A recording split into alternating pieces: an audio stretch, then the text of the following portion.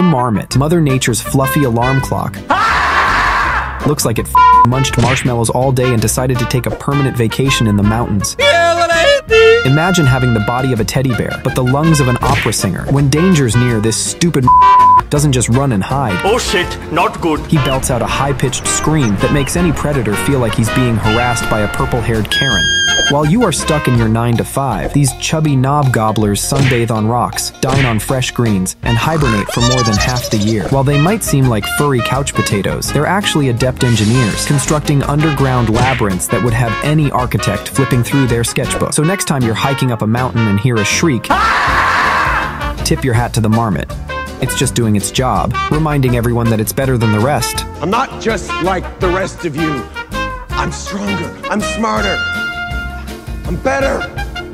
I am better.